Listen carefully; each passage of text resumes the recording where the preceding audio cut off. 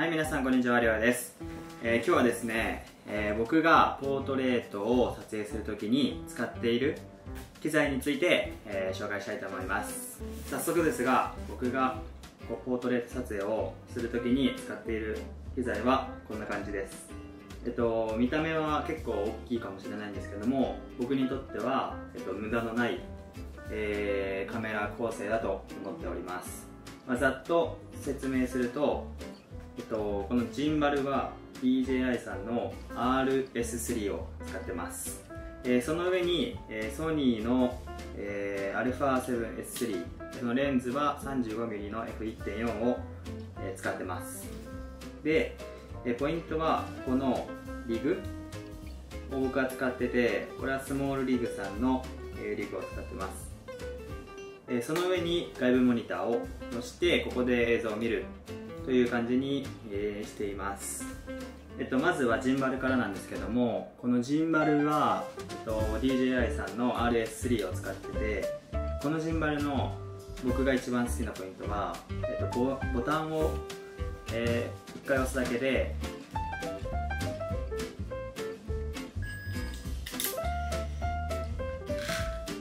この形に持ってきてくれるのがめっちゃ便利で撮影の時ってあの両手が塞がってたり、えー、することがあるんですけどもこのボタンをこう押すだけでやってくれるので、えっと、めっちゃ簡単に撮影をスタートすることができます。でジンバルなんですけども僕はこのスモールリーグさんのこのリグを使ってて撮ってみたいんですこれめっちゃ便利で、えっと、持ち運ぶ時、えっと、移動する時とかにこう持ちながらこう移動することができるので僕はこれも順番で使う人はこれを備えることが結構いいのかなと思います。し撮影の時も全然こう僕はここを握って、えー、撮影してます、えー、次は、えー、カメラです。カメラは僕は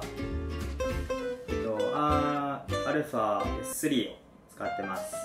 でレンズは、えっと、35mm F1.4mm を使ってます。やっぱりあと α7S3 っていうのは 4K60fps が、まあ、撮れるっていうのと、えっと、暗いところにもこの強い暗所にもあの暗所でもいい映像が撮れるっていうのがすごく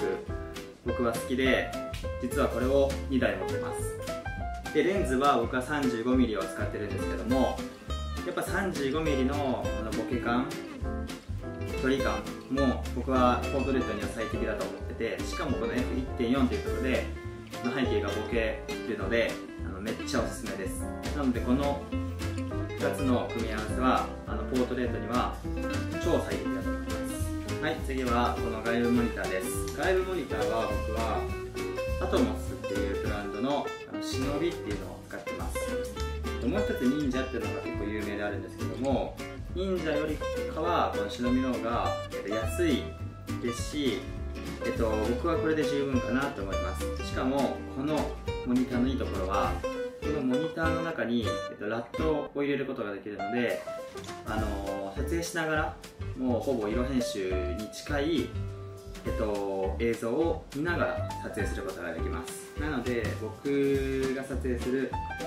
えー、一番大事と言っても過言ではないえっと、モっていう感じでざっくり僕のいつもポートレートを撮影してる時のあの撮影機材を紹介しました。是非参考にしてみてください。ではまた次回の動画でお会いしましょう。See you!